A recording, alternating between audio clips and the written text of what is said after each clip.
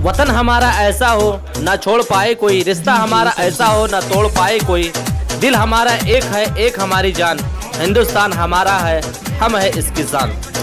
कोटेदार ग्राम पंचायत, जोरा माफ़ी ब्लाक, तेजवापुर की तरफ़ से समस्त देशवासियों को स्वतंत्र दिवस की हार्दिक शुभकामनाएँ।